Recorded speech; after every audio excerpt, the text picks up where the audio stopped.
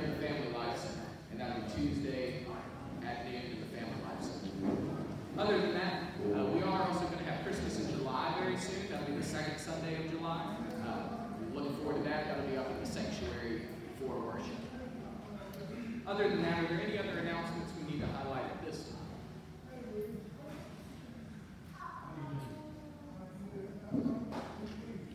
If not, our call to worship is printed in our order of worship, if you have it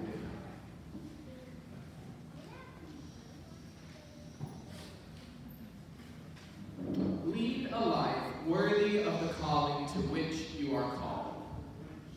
We cannot do this alone. We dare not try this alone. As we gather as God's people. Lead a life worthy of your calling, a life filled with service and meekness. We have come to build up Christ's body in humility and gentleness, with patience and love. Lead a life which reflects your calling, that life of peace grounded in the Spirit. We rejoice in our oneness in Christ. We will share the grace offered to us. Live a life worthy of the calling to which you have been called.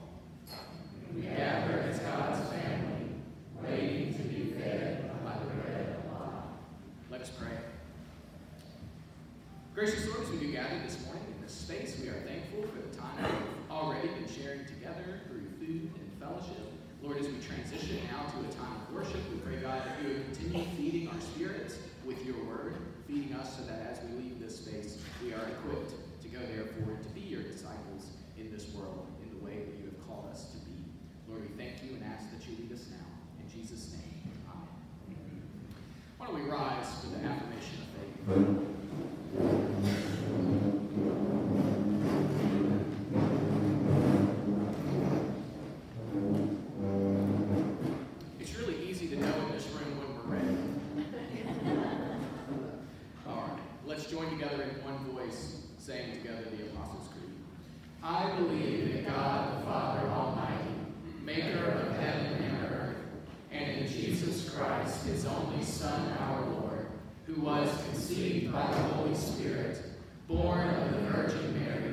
Suffered under Pontius Pilate, was crucified, dead, and buried.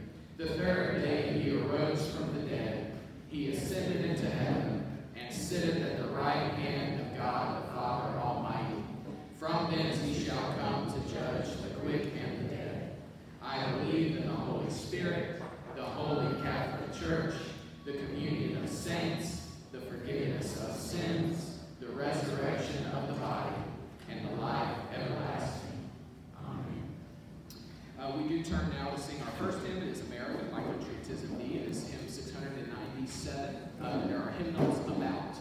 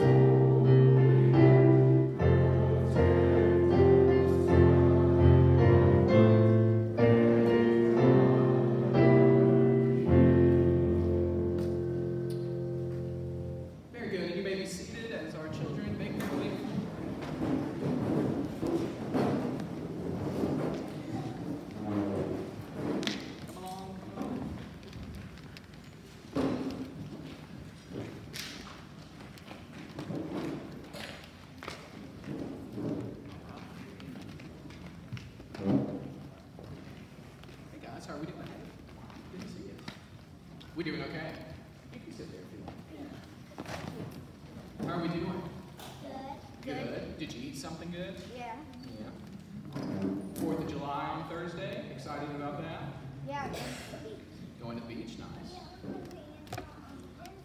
All right, going to some family's house. Good. Anybody doing fireworks? Probably. Probably. I did. Yeah. That was yesterday. Okay. Well, good. Well, I hope we're careful with those, right? We'll be careful with those. Well, good. Well, I thought I'd ask you this. Have you ever learned something that was hard to learn? Yeah. What was that? Times. Times tables? Yeah, multiplication. You are right about that. Any amens from the room? Math? Hard? Yeah? Okay. Some amens behind you, Emmeline. You're not the only one. That's a great example. What else do we think? What's something hard that we've learned how to do? Was tying your shoes hard to learn? Yeah.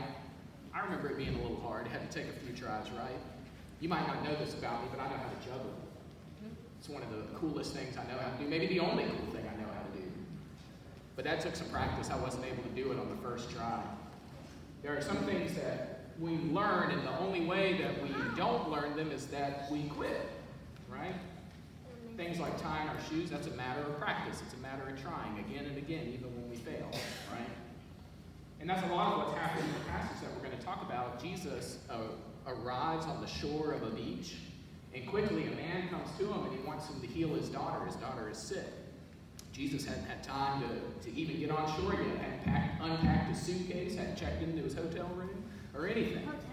I know it, I know it. So he's, you know, in a rush. And if I was in a rush, right, that'd already be a reason to quit, wouldn't it? Tired, maybe want to take a break. But Jesus keeps going. And then as he's heading towards this daughter who is sick, a woman reaches out and touches his cloak. This woman was also sick, and, and she receives some healing. Something that's happening, though, is that there's a crowd pressing in on Jesus, right? Could you imagine moving through a big crowd with a lot of people pressing in on you? Probably another reason to quit or give up, but Jesus keeps going. This woman who's touched his cloak, the disciples say to Jesus, How can you know somebody touched your cloak? Look at all these people pressing in on you. Even the disciples are telling Jesus, Let's go, let's go, let's move along. But Jesus stops, he speaks to her, he calls her daughter, tells her that her faith has made her well, and Jesus kept going. In the midst of all of this, the young lady, the girl who he was heading to heal, she dies, right? Very sad. And at that point, we would think, you know, maybe Jesus would turn around and that just be the end of it. In fact, that's what they tell her dad. They say, don't bother the teacher any longer. This is, it's too late. But what do you think Jesus does? He keeps going, right? He keeps going. And so he heads to the daughter and raises her from the dead. Going. And I think what I would want us to hear as it relates to keeping on going is one, Jesus keeps on going with us. We give Jesus a lot of reasons sometimes to quit on us, but Jesus doesn't. He keeps on going. We learn something new, we finally get something right, and then we quickly follow that up with maybe some things that aren't so good, giving Jesus lots of reasons to give up on us. But what does Jesus do? He keeps on going. And likewise for us, there's always lots of reasons to quit? We could probably think of all the things that we're doing right now in our lives, whether it be school or a hobby that we keep or something that we're trying to learn or a sport we play. There could be lots of reasons to quit. Tired, it's taking up a lot of time, it's not going well, it's not working out. But what could we maybe learn from Jesus here? Not to quit. to not quit, to keep on going, right? And that can be true at church, right? Lots of reasons sometimes. A lot of need in the world. And it can feel like maybe we're not making a big difference. And that reality can feel like maybe it's just good to go ahead and give up. But what would Jesus have us to do? Keep on going. He'd have us keep on going, Emily, and I love it. That's awesome. Well, good. Well, I hope we can remember that today, okay? Let us pray. Gracious Lord, we thank you for these, your children. Lord, as they keep on going this summer, Lord, following you and seeking to live out their faith. Lord, we pray your blessing upon them, be with them as they learn and grow this summer, and pray, Lord, now that you would bless them.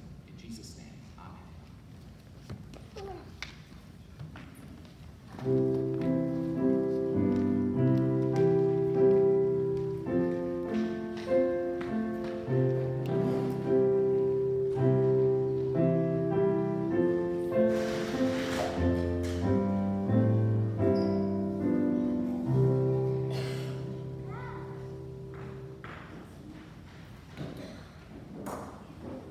good. As we turn now to a time of, lifting up praises and petitions, Few that I brought with me. Uh, one is uh, Janet Pack had asked us uh, to be in prayer for Joe, Janet's husband. He's having his other cataract surgery this week, uh, so we want to be in prayer for Joe Pack as he prepares to do that. Uh, I went and got to see Brynja again this week, and she continues to recover in the Children's Hospital in Augusta. So I just wanted to bring her name back to you once more for continued prayers for Brynja Horn and all of their family as she continues to recover from that surgery. Also want to be in prayer for Mr. Walker Bettis. Uh, he spent some time in the hospital this week, uh, but is back home and, and doing a whole lot better. I was able to see him as well. Uh, and he is, is doing good. He, I think, wanted to be here today, but maybe thought I'd rather see him next Sunday and the Sunday after and the Sunday after. And so he's going to take today off and get some rest, but do be praying for Mr. Walker and all of their family too. And then as well, I wanted to mention on, the, on behalf of Neil Richardson, uh, she asked me to share uh, with all of you that this past week uh, she was diagnosed with liver cancer. They don't know a whole lot yet of what that's going to entail and, and look like um, in terms of treatment and things like that, but just wanted to share that with you so that we could all be praying for Neil. Other than that, this morning, uh, I do also want to mention, uh, because I, I originally thought this was a July type of announcement, but there are five Sundays in June. Did you know that? And so that means there's an extra Sunday this morning, which means the milestone that I wanted to share with you next week has actually been achieved today. This is now, St. Paul is now my longest appointment by one week. My first two appointments were both three years, and so uh, twice before this, this would have been my first Sunday and a new appointment, and I'm thankful it's not. And so I wanted to share that with you because now every week henceforth will be my new record. So every Sunday will clap for me? As we celebrate my continuing record. I know Sabrina's very happy about this too. That was part of what we hoped for when we came to St. Paul, was that uh, we would be here uh, a little longer, and, and so uh, this is with joy to share that with you. I, that's why I was waiting. A lot of times we tell you a lot earlier than now that I'm not moving, but I, I didn't want to jinx it, one. and two, I actually wanted to earn it first, and then say, uh, but I do appreciate you for share that with you. It is a joy. We appreciate you. Are there others that we would like to lift up at this time? Yes, sir. Mr. Rob. Yes. One minute, No. we need to live. Yeah. I remember one buck got killed, one buck funeral home. Yeah, Warren Butler. Family of Warren Butler. yeah. Could have been that too, but I think at twelve o'clock. Service is at 12 o'clock Yeah, at two house, at school. yeah. He, he gonna be out Tuesday. Yeah, I remember that time. Uh-huh. Okay, very good. So we're lifting up the family of Warren Butler as well as Rodney. Yes, Mr. Bob. This time, remembering freedom, let's remember our soldiers out there on the front lines, please. Thank you for highlighting that, Bob. We are, as you can see today, with our American flag items and uh, hymn choices, we are celebrating Fourth of July this week uh, and want to, along with Bob, lift up our military and, and those who serve and have served. Uh, and so we give thanks for that today too. Thank you, Bob. So the family of Kathleen Long.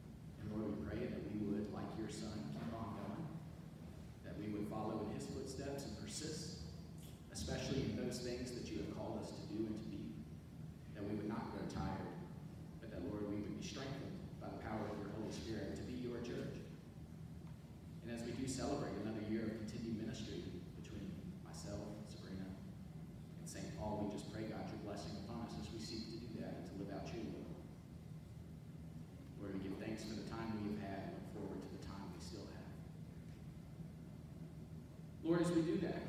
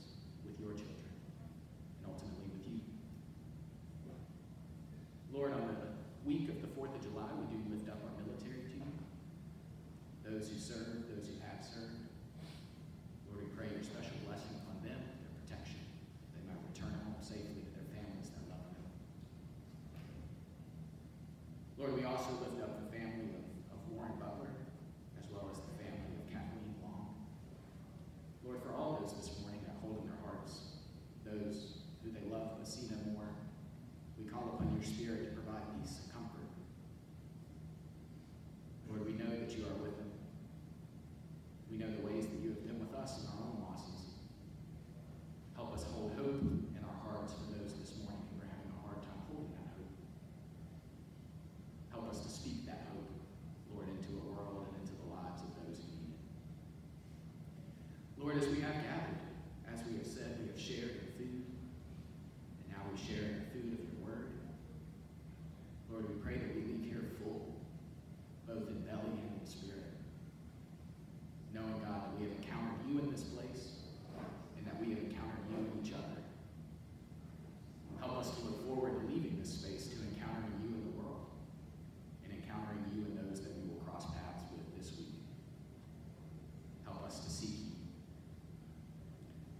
Lord, we give thanks for your Son, Jesus, his life, his death, his resurrection.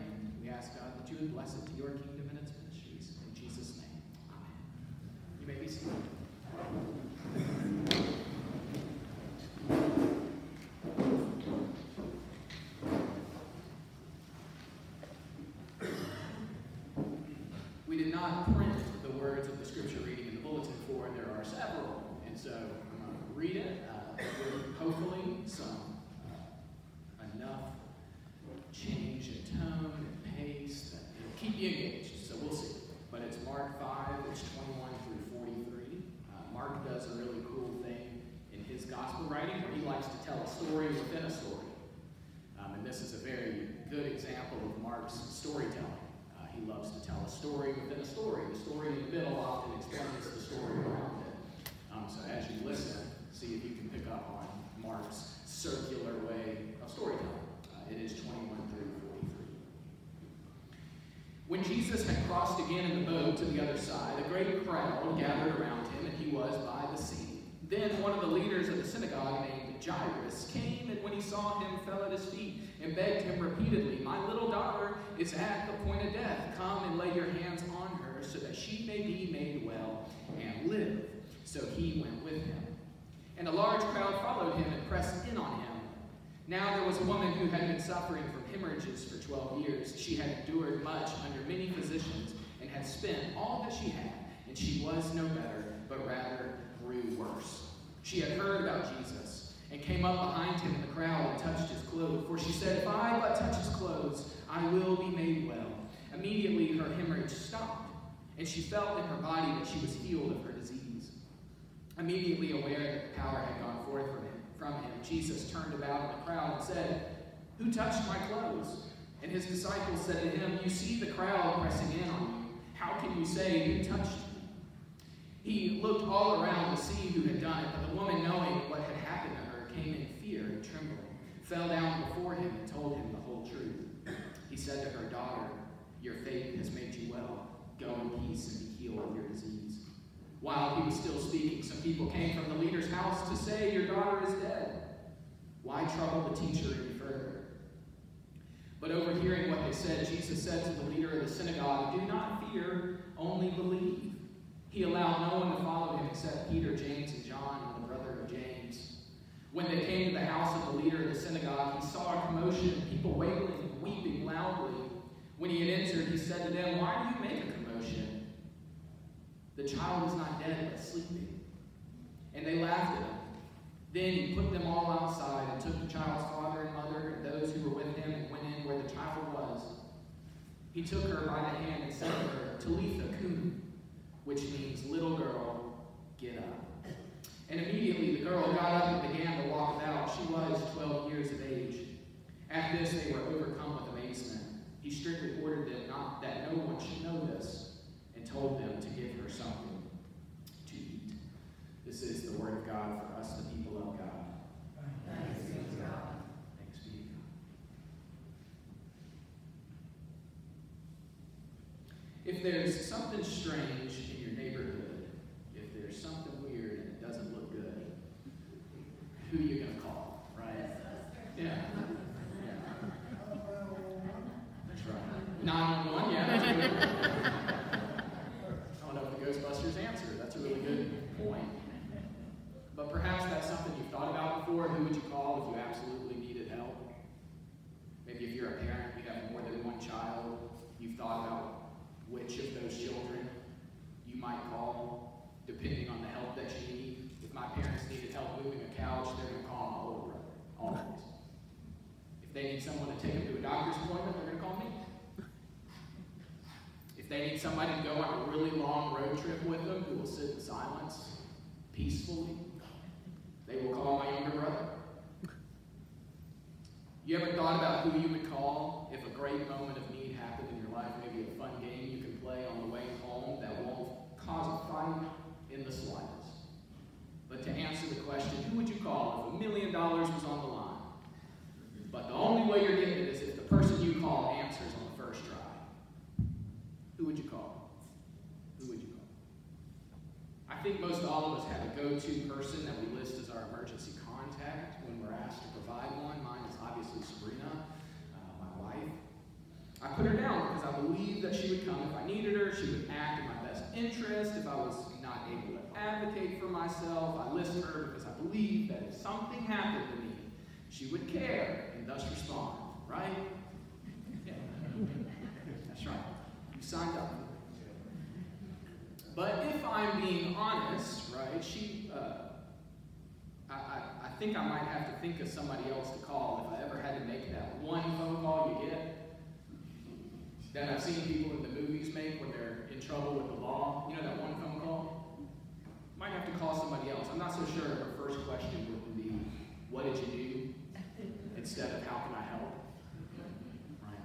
I think she would eventually come to get me, but it might take her a while to find her keys, to get ready, to find where I'm at, to ultimately come to my aid. Have you ever thought of the question, who would you call if you found yourself in a moment that you could no longer help yourself? Said differently, who is your emergency contact? Picking up on a theme from last week's passage of the disciples in the boat with Jesus as a storm sought to destroy their boat, this week's passage carries a similar tone of desperation on the part of the synagogue leader and the hemorrhaging woman. Last week, the disciples, out of desperation, appealed to Jesus to keep the storm from destroying their boat. This week, a father, out of desperation, appeals to Jesus to save his dying. This week, a woman who has been bleeding for 12 years reaches out in desperation to be healed. If you are like me, desperation is not a word that I commonly have thought of with the word faith. Desperation, faith. Yet, Jesus stills the storm. He heals the hemorrhaging woman. He raises Jairus' daughter from the dead. It's an interesting thing to consider the kind of faith that's on display here. Kind of faith that leads Jesus to saying, Your faith has made you well. It isn't a steadfast faith that has looked like calm assurance that all is going to be fine. It hasn't been a blind faith that those in need, once they receive their healing, say, See, I told you there was nothing to worry about. It isn't a practiced faith where those in the passage refer to Jesus by, Jesus by titles like Lord, and Messiah, Christ. If I had to assign a word to the kind of faith that is on display here, that word would be desperate. The disciples, Jairus, the hemorrhaging woman, their faith is a desperate one. The desperation in this passage can almost be felt coming off of the pages. There's desperation in a father's voice as he begs Jesus to heal his dying daughter. Jairus pleads, My little daughter is at the point of death. Come and lay hands on her so that she may be made well and live. There is desperation in a woman's voice that can be heard so clearly, especially in light of Mark's narration of her circumstances. Mark says she had endured much under many physicians had spent all that she had. She was no better, but rather grew worse. Out of the desperation she has known for 12 years, she says, from that deepest place of hope, if I touch his clothes, I'll be made well. The father's desperation turns to hopelessness as Jesus spends time with the woman whose faithful touch enabled uh, the healing that she needed. Mark doesn't come out and say it. Maybe you could hear it in the story, the way it's written. But certainly, Mark seems to imply that Jesus' pause to talk to the woman lost them the critical moment that they needed to get to Jairus' daughter in time to save her from dying. Two painfully desperate situations that maybe we can relate to, both in terms of being the one in a desperate situation. Has that ever been you?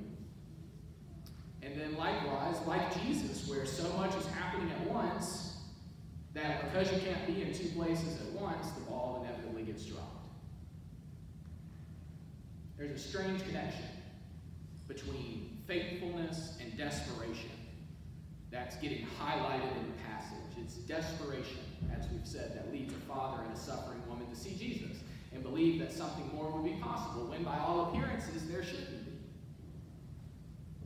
After the scene where Jesus speaks to the formerly hemorrhaging woman, Jairus is informed of his daughter's death. The words that get spoken to him almost sound like an appeal for his desperation, his hope to end.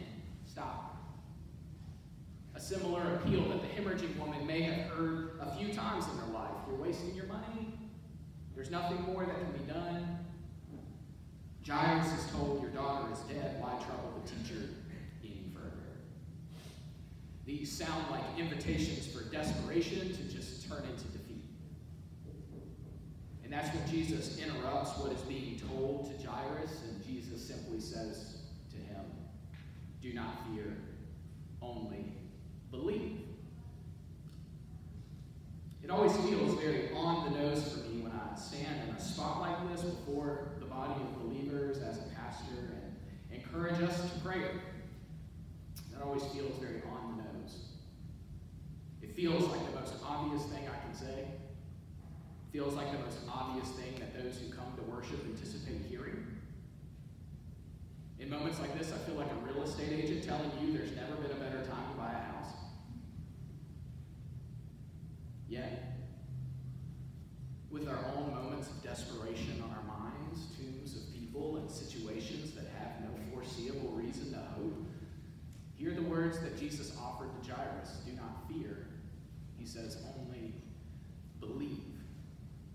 I think those words are a calling to protest against death itself. A reminder to death that, as powerful as it is, as powerful as it appears, there's another who I not only put my faith in, but my desperation in, whose presence among us means hope lives. Prayer, then, is one of those places that we can live out what it means to stand at a tomb filled with our endings and believe something more to be possible even when our eyes can't see that. Prayer, especially a desperate one, to the God who has come to our shore bearing the good news that even if it's been 12 years, and the problem has only worsened. Even if the help came too late or not at all, that we do not have to fear, we do not have to despair, that we simply believe in the one who makes a way where there otherwise wouldn't be a way. We make our one phone call. We call our emergency contact with the confidence that he will show up a really vulnerable thing to consider one's emergency contact, one's last line of defense, our one phone call. I remember when uh, one of the most serious conversations my mom ever had with me. I had just received my driver's license, right?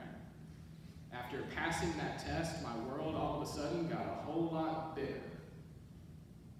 In this conversation, I, I heard my mother's words to me not as a command, but as a desperate plea to her son.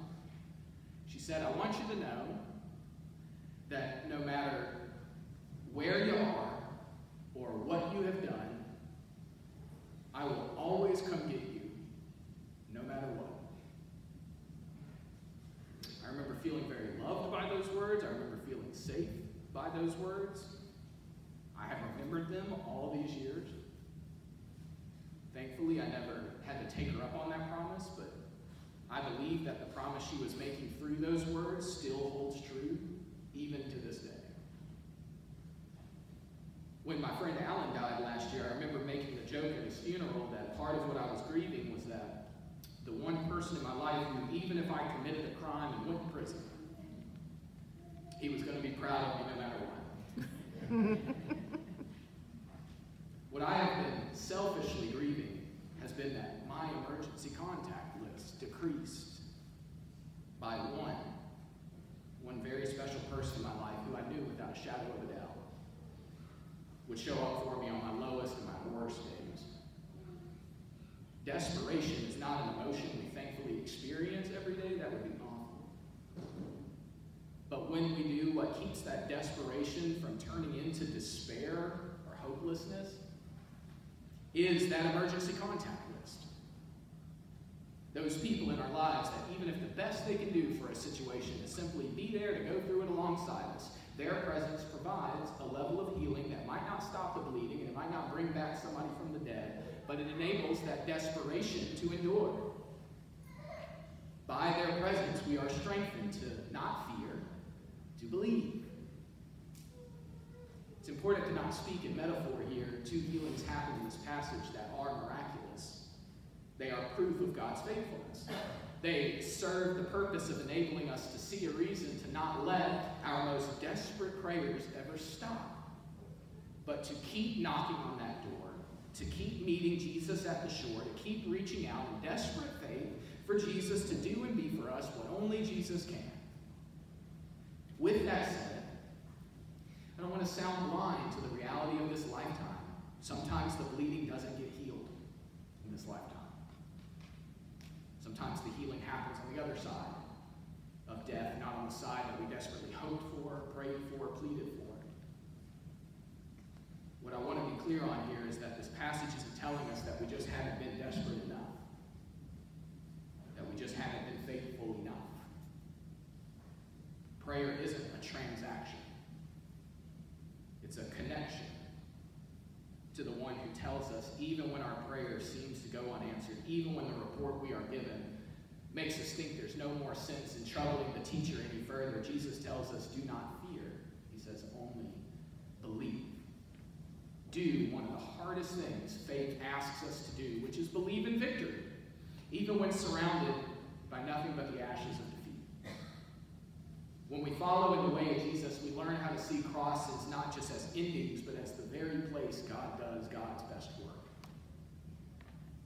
If it's even a cross that lies ahead and we can't pray our way around it, even so, Jesus tells us, do not fear. He says, only believe. I have no doubt that you can surmise where this sermon was heading, so I'm just going to say it in the plainest way I can. Your emergency contact list is never empty. It's never empty. It might increase and decrease as the years go by, but it never falls below one. There is always another who we can call out to who won't let us go through the most desperate of situations alone. There is another who has the power to effect the change, the healing that is needed in any situation. It is my conviction that it is worth praying for that healing, both when it's needed and when it didn't come in the way that was hoped for. It is my conviction that this passage bears witness to the truth that even if it's been 12 years and it's only gotten worse, even if the healing doesn't come when it was needed, that we don't have to fear, that we can simply believe. The good news this morning is that with a person like Jesus on our emergency contact list, we know who to call on when our desperation starts turning into despair, when our hope is turning into hopelessness, when we stand on the outside of that tomb and are believing death's lie, that it gets the last word. I'll finish with a quote in one of my all-time favorite comedy movies, Dumb and Dumber. One of the main characters, Lloyd Christmas, one of the best character names ever. Lloyd Christmas, a chipped tooth limousine driver, falls in love with a woman whose name Mary. He meets her when she rides in his limo, and without getting into more plot than is necessary, Lloyd eventually asks Mary outright, What do you think the chances are of a guy like you, or a guy like me, and a girl like you ending up together? Mary eventually responds to Lloyd's question of what are my chances with, not good. Lloyd not good like one out of a hundred? And Mary responds with, I'd say more like one out of a million. The quote I want to end on is probably the most famous quote from the entire movie. Lloyd Christmas hears his chances of ending up with Mary as being that of one out of a million, and he says, So you're telling me there's a chance? What I is saying that the good news of the passage gives us a million reasons to continue to pray with Jesus on our emergency contact list. We, like Lloyd, can say with confidence that we have a reason to hope. So you're telling me there's a chance. I would say that there isn't only a chance, but an assurance that we always have a reason to keep praying, a reason to keep hoping, a reason to keep pleading with God. Jesus says to us as we stand facing what seems like a story that has reached its ending, do not fear, only believe. Like Lloyd, we can recklessly, foolishly declare that there's always a reason to hope.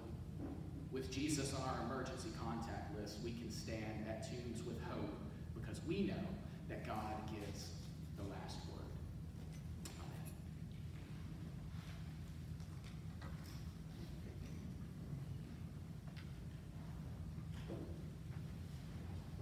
I invite you to